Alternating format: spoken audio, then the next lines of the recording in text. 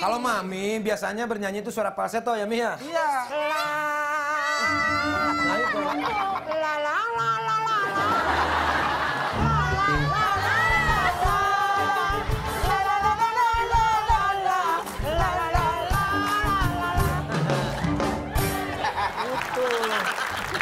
Apa kabar? Hah? Nah, aku artiin ya. Ada suaranya Mami saya? Tadi dia itu abis latihan nyanyi sama aku, Ah. kan? Dia terlalu diforsir, saking semangatnya, powerful. Abis suaranya.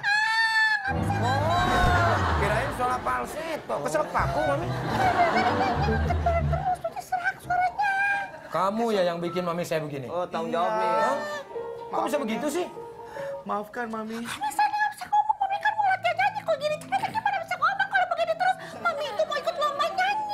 Nggak bisa kalau udah begini mah. Coba Mami.